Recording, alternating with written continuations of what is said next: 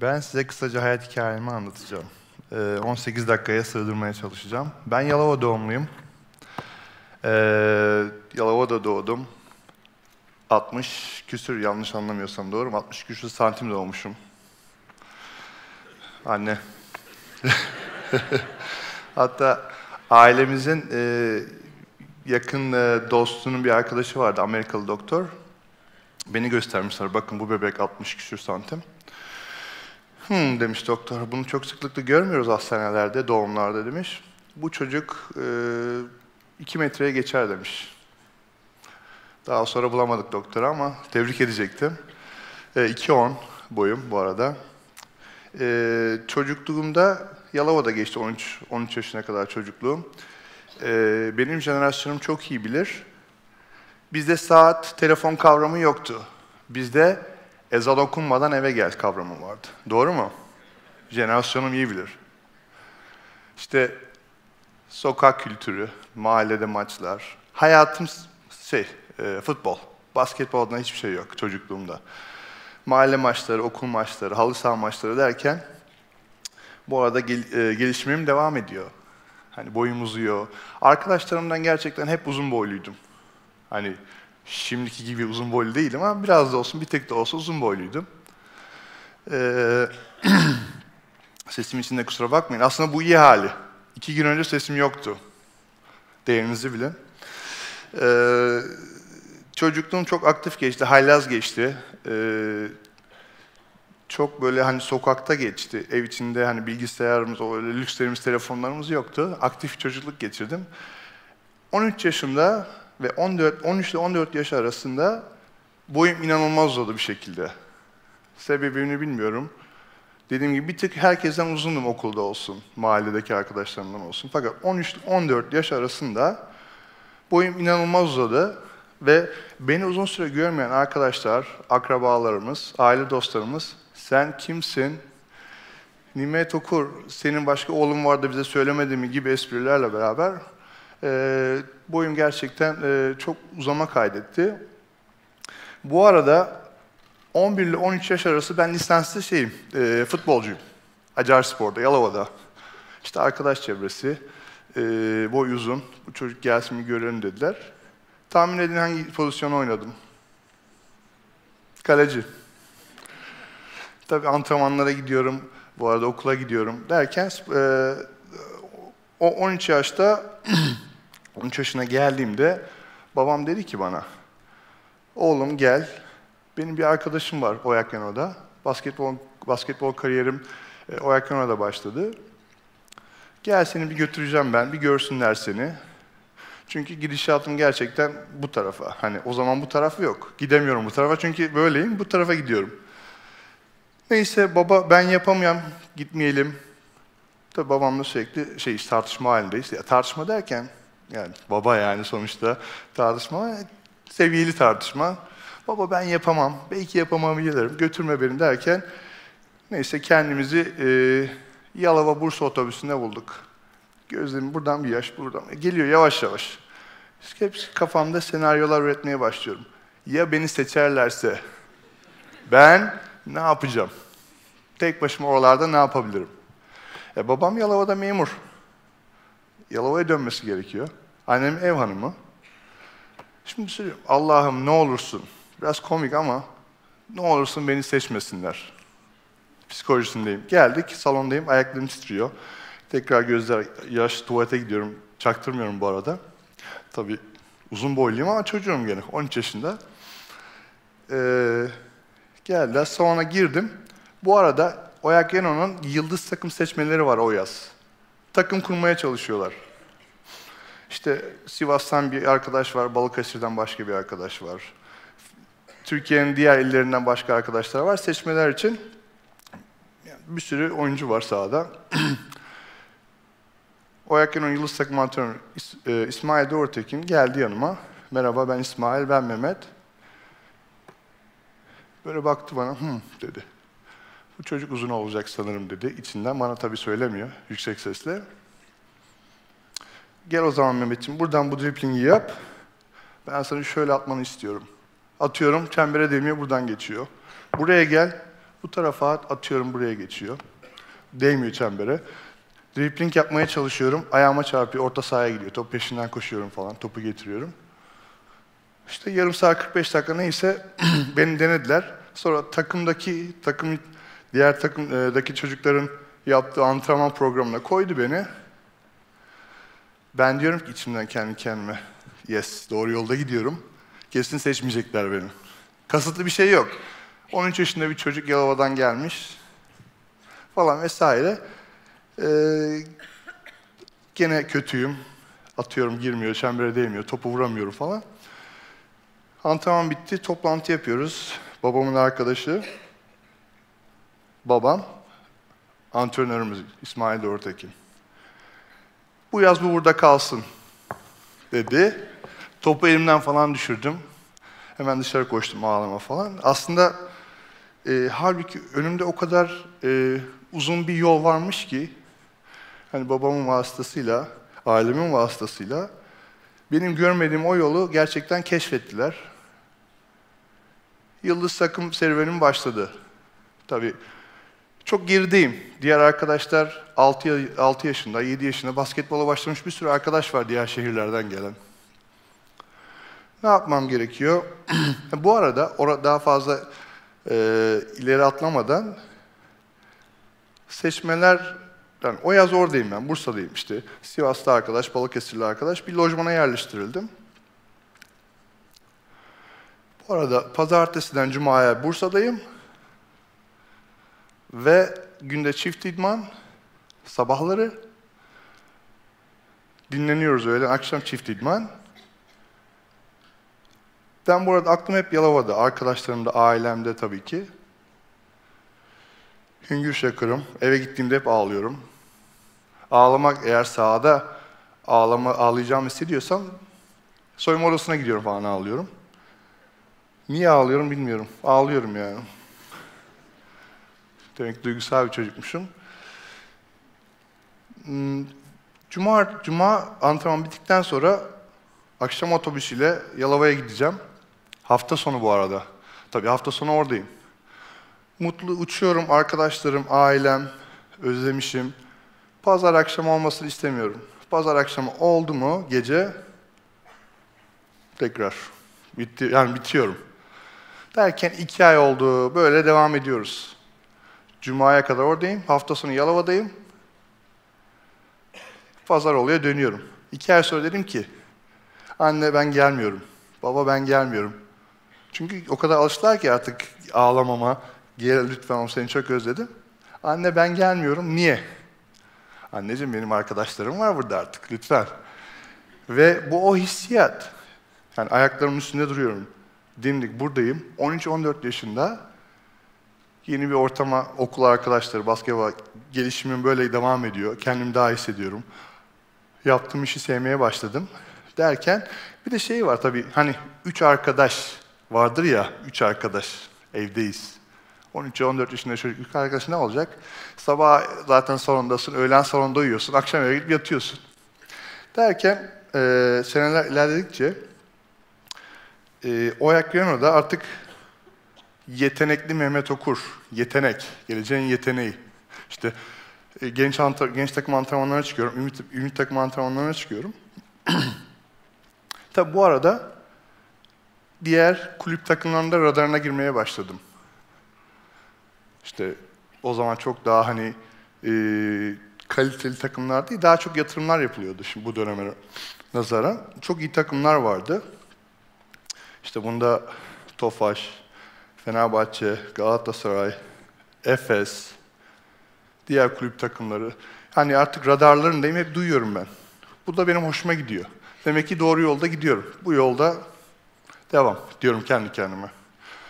Bu arada geç basketbola başlamamın dezavantajını gece 11'lere kadar falan 11.30'lara kadar salondayım. Devam ediyor. Full antrenmanlar. Çalışıyorum. Herkes evine gidiyor. Ben minibüste servis devam ediyor. Herkesi bırakmaya gidiyor. Ben oradayım 11.30'da falan minibüste eve dönüyorum. Devamı çok iyi çalışıyoruz falan. Çok iyi çalışıyorum. Güvenim geldi. İşte uzuyorum tekrar. Biraz daha hani şey yapmaya başladım. Et tutmaya başladım diyeyim. O zaman biraz zayıftım. Ee, Biraz başa dönersem, babamın arkadaşının ilk ofisine girdiğim zaman babamın sözünü hiç unutmuyorum. Dünkü gibi, dün gibi hatırlıyorum. Atilla abicim, eti senin kemiği benim. Baba ne demek eti senin kemiğim, ne demek, dönmüyor muyum ben eve, ne demek dedim. Oğlum yani sen buraya emanetsin artık dedi. Dün gibi hatırlıyorum. Devam ediyorum çıkışım. O erken orada artık 17 yaşındayım. Komşumuz olan Tofaş bana çok güzel bir teklifte bulundu. Bana değil kulübe. İşte iki tane, üç tane oyuncu verildi artı e, nakit verildi falan derken ben bir anda kendimi Tofaş'ta buldum.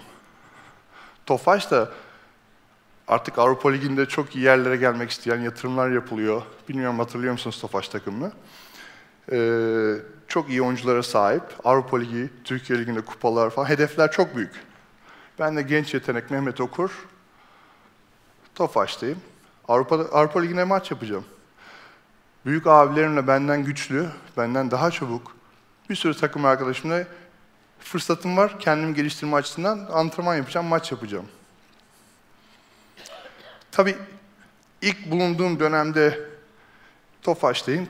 Çok fazla tanımıyorum ama onlar beni tanıyor sanırım ki antrenmanda bir tane yumruk dirsek buraya. Bir tane buraya derken he, sen büyük lige geldin. Burası Oyak gibi değil mesajıyla beraber. Ee, yani şöyle söyleyeyim, şöyle, o takımda oynamak çok zor. Çok iyi oyuncular var. Tabii ben gene salondayım. Gece eve dönüyorum, antrenmanlar falan inanılmaz. Kendimi güç, güçlendiriyorum, geliştirmeye başlıyorum. İki sene içinde beş kupa aldık. Artık hedef Avrupa şampiyonluğu iki sene sonunda değil mi? Yazın İstanbul'dayım. Telefon. Tofaş kapattı. Herkes ne oluyor dedi. Tofaş kapattı. Ee, aslında ben hayaller, şeyler kurmaya başladım. Ee, heyecanlanıyorum. Ne yapacağım ben şimdi? Nereye gideceğim bilmiyorum falan derken. Ee, Tolga abim vardı benim. Tolga Öngören, eski milli basketbolcu, eski Tofaş'ın gardı. Slovenya'da bir parkta oturuyoruz. Kampta. Mehmetçim dedi. İlk hedefin ne dedi senin? Abi dedim ben amil takımda oynayacağım dedim. Böyle bir baktı bana. Okey. Galiba oynarsın herhalde. Gidişat o. Ondan sonra ikinci, onu başardın diyelim. Gidişatıma çok yeteneklisin, oynuyorsun. İkinci hedefin ne dedi? Ben dedim NBA'de oynayacağım dedi. Böyle bir tebessümle gülüş güldü tabii. Çünkü NBA o kadar uzak ki bize. Buradan uzaya gitmek gibi falan da o zaman yani NBA.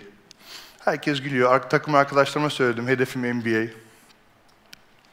Derken onlar benden şey yapıyorlar, dalga geçiyorlar falan. Öyle mi dedim, okey. Tabi bu arada çalışmaya devam. Bırakmak yok. Tofaş kapandı. Bonservisim elimde kaldı. Önümde bir sürü seçenek var. Avrupa var. Türkiye'de hedefler olan bir takıma gidip oynamak var. Efes bizden güzel bir teklifle geldi. Efes'teki hedef Final Four. Avrupa şampiyonluğu. Mehmet'ciğim sana ihtiyacımız var bu yolda. Bize katılmanı istiyoruz. Tabii ki. Efes'le anlaşıyorum. Gene kupalar, hedefler tabii. Türkiye şampiyonlukları, Avrupa'da Final Four. Bu arada o Avrupa Ligi'nde oynarken artık radar şey büyüdü artık, vizyon büyüdü. NBA takımlarının radarına girmeye başladım bu arada. Milli maçlarımız olsun, Avrupa Ligi maçlarımız olsun, lig maçlarını artık hemen hemen her iki maçta bir farklı bir yüz görüyorum NBA'den gelen beni takip etmeye. Tabii ben şeyim kol verdim, böyle yürüyorum falan, NBA'im falan. Gülen arkadaşlarımız nerede? Onları lütfen getirin şeyini, psikolojisini. Ee, güzel maçlar, uzun süreler aldım. Artık zaman geldi. NBA draftlarına ismimi koyacağım. Kendimi hazır hissediyorum. Neyse Amerika'ya gittik o yaz, iki sene sonunda. Farklı yedi takımla antrenmana çıktım. Yedi takımla antrenmana çıktım. Artık draft günü geldi. New York'a uçtuk. Üstümü değiştirdim. Direkt şeye gittik, e, salona gittik, draftların yapılacağı. İşte yazıyor. Birinci sıra, birden 27'ye kadar ilk, ilk round. Biz salona geldik. Saat yanlış hatırlamıyorsam akşam 7. Bu arada erken oradayız. Menajerim, menajerimin eşi. Oturuyoruz ve diyalog kuruyoruz diğer koçlarla, diğer e, antrenörlerle. Benim kaçıncı sıradan draft edeceğimle ilgili sürekli bilgi alışverişi yapıyoruz. Her şey çok olumlu. Her şey iyi gitti. Antrenmanlar süper geçti. Tepkiler iyi. İlk roundda gider dediler. Tabii ben oturuyorum. Aynı böyle bir sahne. Aynı böyle e, koltuklar. Farkı NBA takımları, numaralar ve her e, seçildikten sonra 5 dakika süre var. 5 dakika içinde arkadaki takımlar artık seçeceği oyuncuyu hazırlamaya başlıyorlar. Anons edecekler. Saat 7'de salondaydım. Saat gece 10.30. İsmim hala söylenmedi. Aldım beni bir panik. Acaba dedim benimle dalga geçen arkadaşlarımız gerçekten haklı mı? diye kendime soruyorum. Bu arada menajerim beni teselli etmeye çalışıyor. Açıkçası umudumu yitirmek üzere, yani öyle bir karamsarlığa katı, e, şey yaptım, kapıldım açıkçası. Neyse ikinci rounda geçtiler. 30. sıra, 37. sırada diyorum Seattle seçti. 5 dakika, 5 dakika süresini bekliyoruz, konuşuyoruz. Ben bakmıyorum artık şeye. Konuşurken işte 30, 38. sırada Detroit Pistons, Mehmet Okur from Turkey. Ben hala konuşuyorum ama bir, ben ismimi duydum. Acaba bir baktım sahnede. Benim resmim, ismim. Tabii ki Türk bayrağı. Sağ olun.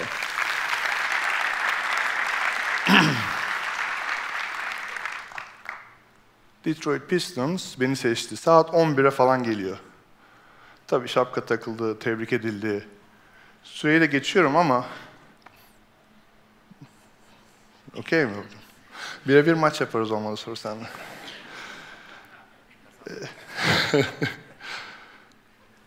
Bu arada tabii telaş, şapka takıldı, arkada fotoğraflar, dergi için röportaj, basın için röportaj, televizyona röportaj. Ee, Detroit'in yerel basınına röportaj saat oldu gece 12.30 falan. Ve ben derim tamam rahatım 12.30. Yarın öbür gün uçağa atlar Türkiye'ye dönerim. Öyle bir şey yok. Sabah 5'te şeye gittik, havaalanına gittik. Detroit'e gideceğim. 3 saat uyku, okey. İngilizcem yok o kadar tabii o zaman. Tercüman falan derken basın toplantısına geldim. Saat, Detroit saatiyle 9 küsür. Soruyorlar işte hedefler, bunu anlattım size biraz önceki hedeflerimi, neler, nasıl başardım, onları falan anlattım. Neyse, hazırlık dönemi Detroit'teyim. Bakıyorum, herkes benden güçlü. Herkes benden hızlı. Daha şey, güçlüler. Ben şimdi antrenman yapıyorum. Aslında iyiyim. Ama yeterli miyim? Soru işareti. En büyük avantajım beni çok yani beni benimsediler açıkçası. Herkes yani Türkiye'den gelmiş 21-22 yaşında biri Detroit gibi şampiyonluğu oynayan bir takımda Hı, acaba ben hep bir soru işareti var kafamda. O konuda çok şanslıydım. Benimsediler. Hep yardımcı. Hem sağ içi hem sağ dışında sıkıntılarım vardı. Yeni bir ülkeye gidiyorum. Yeni kurallar hem sağ içinde hem sağ dışında. İki ay sonra sanki orada senelerce oynuyormuşum gibi bir özgüven geldi. Takım arkadaşlarım sayesinde. İşte e, bir şey olduğu zaman soruyorum. Ekstra antrenman yapıp bana gösteriyorlar. Halter salonunda şuna işte gel bak sana göstereceğim gibi böyle güzel iyi takımda arkadaşlarım vardı. Neyse e, yaklaşık 3-4 ay çok fazla süre alamıyorum. Çaylağım. Tecrübeliyim, Avrupa tecrübem var. Liglerde uzun seneler oynadım. Ama rookie'yim, çaylağım. İsterseniz 35 yaşında olun, gene rookie'siniz. Şakalar falan tabi biliyorsunuz rookie şakaları. iyi şakalar değil, söylemek istemiyorum burada. E, dolayısıyla e, oynamıyorum ama bu sürekli e, yardımcı antrenörlerle boş günler dahil antrenmandan önce sonra sürekli antrenman yapıyoruz. Bana söyleyin ben size nasıl yardımcı olabilirim, ne yapabilirim? Hani bu takıma nasıl yardımcı olabilirim maç kazanması için? Konuştum falan, bunları istiyoruz senden derken kendimi geliştirdim. Benim pozisyonumda oynayan bir arkadaş vardı. Eski Yugoslav. Kalbinde bir problem çıktı. Çok üzüldüm gerçekten, çok sevdiğim biriydi. Ama bunun için çalışmıyor muydum? Bu bir tek fırsat için çalışmıyor muydum? Ve fırsat önümde. İnan o takımda ilk beş başlamaya başladım. Sezon öyle bitti. Doğu'da finalleri oynadık. ilk senemde. İkinci senem bu takımda tekrar tabii şey yapıyorum. İlk beş başlıyorum. Rashid Wallace diye bir e, benim gerçekten çok hani, saygı duyduğum iyi bir oyuncuydu. Takıma takas oldu. Ben bence otomatikman kaydırıldım ve bench'ten katkı sağlıyorum. Neyse kimya çok iyi takımda, şey arkadaşlık çok iyi. O sene kazandık. 2004. 2004'ün sonunda serbest oyuncuyum. Hani önce Türkiye takımlarının radarı, ondan sonra NBA'den gelen takip edenler. Şimdi takımına ilk 5 seçecek beni takımlarına uzun seneler katkı sağlayacak ilk 5 oyuncu konumunda ki takımların radarındayım artık. İşte çok yukarılarda. İşte baktım Utah Jazz'dan iyi bir teklif geldi. Bakıyorum çok iyi Avrupa oyuncular var. Koç zaten efsane. İlk beş başlama şansı. Detroit'te çok, bu çok fazla yoktu. Şimdi söyleyeceğim olay. Jerry Sloan biraz daha böyle eski, hani old school tarzında bir koç. Eski kafalı demeyeyim de böyle biraz şeydi, sert bir koçtu. Her maça gittiğimizde, antrenmana gittiğimizde oynayacağımız her maçtan önceki sizin potansiyel müdafaa yapacağınız oyuncuların listesi var koltuğunuzda. Soyunma odasına giriyorsunuz, bakıyorsunuz. İşte Shaquille O'Neal. Değil mi? Ne yapar Shaquille? Soluna döner. Buradan buraya geçer. Sağından da işte böyle bitirmeye çalışır. Artıları nedir? Eğer ki içeride topu aldırma izin verirseniz üstünüzden smaç vurur. Peki dezavantajı ne? İşte müdafada şu. Bakın bu ben, bu da şey.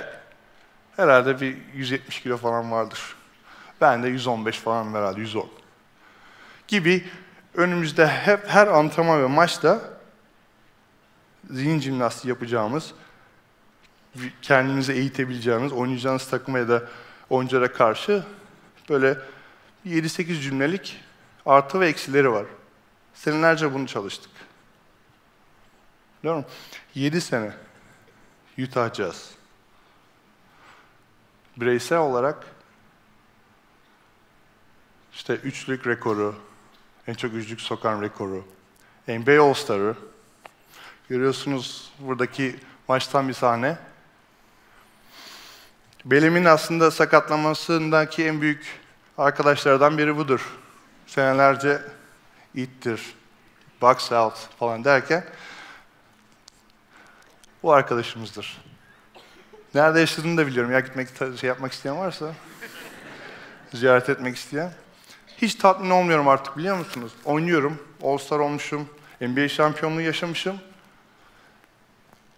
Hedef o kadar çok, çıtayı o kadar çok yukarı çekiyorum ki artık işte bir daha All-Star olmak, Utah Jazz'a NBA şampiyonluğunu getirmek, bir gün formamın inşallah Utah Jazz salonda formanın aslında en büyük hedefim yani sürekli bir hedefim var. Tatmin olmuyorum. Rüyalar için. Yani rüya dediğim o kadar güveniyorum kendime. O kadar çok çalışıyorum ki biliyorum günün sonunda bu bir yani bu istediklerim olacak. Hani şey vardır ya at gözlüğü. Aynı böyleyim. Neyse 7 sene çok dolu dolu bir kariyer. Sonra ayak tendonum koptu 7. senenin sonunda. Bir sene New Jersey Nets'te oynama fırsatım oldu. Çok e, benim kariyerim açısından artık sonları çok fazla verimli geçmedi benim için. Ve ne yazık ki belimdeki ve ayağımdaki rahatsızlıktan dolayı basketbol hayatım bitmek zorunda kaldı. Basketbol hayatı bittikten sonra aktif sporculuk hayatım bitmiş olabilir. Doğru. Herkesin bir günün birinde bitiyor. Doğru mu hocam? Ne iş yaparsanız yapın bitiyor. Değil mi? Fakat hedefler bitmiyor. Bir, en büyük hedefim geçen sene başladığım NBA'de ilk Türk koç duygusunu yaşadım. Her sabah kalktığımda teşekkür ederim. Basketbol kariyerimdeki ilklerin haricinde basketbol sahasının dışında en büyük hedeflerimden biri basketbol koçu, olmak. Geçen seneki deneyimlerimden hani head koçumuz, yardımcı koçlar. Hedef, hayaller, çıta, tatmin olmamak. Şu an ben, çoğu insan benim konumda olan insan şey diyebilirdi. Ben kazanacağımı kazandım. Artık yeter. Tane çiftlik hayatı mı kursam acaba? Gideyim Ege'ye mi yerleşsem gibi diyen bir sürü arkadaş olabilirdi benim konumda olan. Fakat aktif sporculuk hayatından sonraki eğitim benim için çok önemli. Kendimi geliştirme, bir yol çizme, o yolda sağlam adımlarla nasıl yürüyebilirim? Tatmin olmamak, kendinize hayal kurun. Hedef koyun kendinize. İnşallah NBA'de bir gün bir baş antrenör olarak, head coach olarak Türkiye'yi bu kulvarda, bu yolda temsil ederim. Hepinize çok teşekkür ederim.